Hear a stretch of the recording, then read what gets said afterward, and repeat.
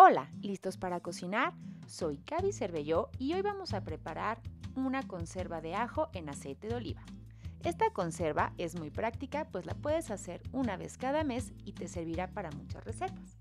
No solamente tendrás el ajo ya picado, sino que además tendrás un delicioso y perfumado aceite de oliva que puedes utilizar para cocinar o como aderezo en varias preparaciones. Para esta conserva necesitamos una cabeza de ajo finamente picada, una taza de aceite de oliva, 10 granos de pimienta y 4 hojas de laurel. ¿Estamos listos? Empezamos. Con la ayuda de un cuchillo muy filoso, pica finamente toda la cabeza de ajo.